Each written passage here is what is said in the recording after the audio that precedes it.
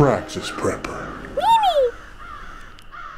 Hey everybody, this is Praxis, and I wanted to get back to you guys about my mystery well water, uh, you know, chemicals. If you haven't seen, there's an earlier video, here's a link to it, where I found this, this white silt that precipitated out of the water when I would boil it, uh, you know, the water that was from this uh, new house that I'm moving into.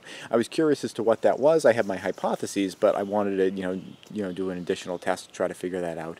My hypothesis, and the hypothesis of a lot of people that uh, commented on that video, was that it was some sort of a carbonate, like calcium carbonate, like also known as chalk, which uh, you know comes in the form of dissolved limestone. Uh, the reason that I felt that was its general sort of white powdery sort of appearance, the fact that in my particular area that's uh, something that's uncommon, and also the fact that it precipitated precipitated out of the water when the water was boiled. That's uh, a characteristic of you know, calcium carbonate that it would do that. I wanted to run a, a further test on it, and uh, what that was was a an acid test where I would take some acid, put it on it, and you would expect an sort of effervescent bubbling reaction uh, if uh, if it was a, some type of a carbonate. So I ran that test, it did effervesce. I feel reasonably confident that it's some sort of a carbonate. I think most likely calcium carbonate again because just because that's very common in the area. I enjoyed uh, everyone's guesses. Most people seem to be thinking you know chalk, limestone, calcium carbonate, that kind of thing. They're all sort of the same thing. Um, sort of the same thing or exactly the same thing. I don't know. I'm not a chemist, but uh, it, I think my favorite was probably dandruff.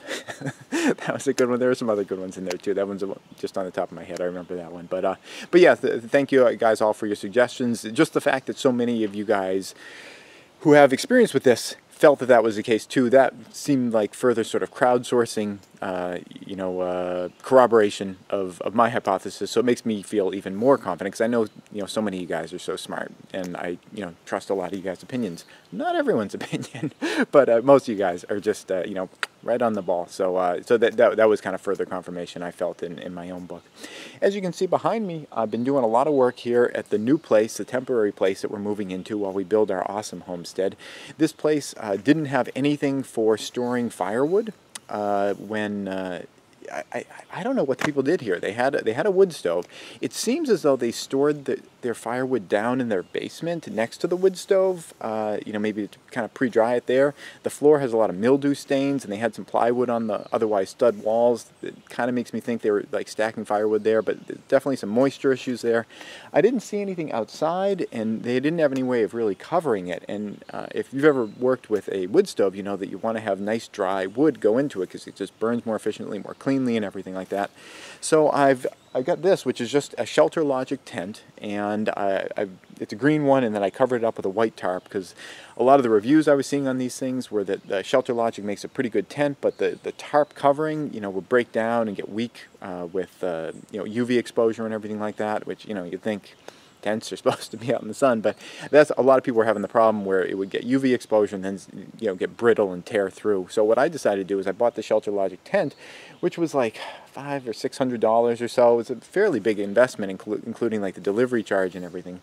Um, but uh, what I added on top was this white tarp to protect it from you know the the UV light. So I I put the a lot of money into the, the, you know the tent structure and everything and to avoid having to replace that very expensive tent covering I bought a $20 white tarp so that uh, you know it keeps some of that UV light off there and helps to tie it down and everything so so that was my approach to that and now I've got some firewood that's uh, drying out for this year and it's so important. You get so much more heat energy when you're not having to boil water out of it. It also reduces creosote buildup in your in your uh, you know chimney stack when you're not having you know non-dry wood being burned in there. I've been doing a lot of other stuff on this place. I'm going to bring that uh, you guys in on that. Uh, you know, a lot of work on the pantry, building out the uh, the storage facilities down there.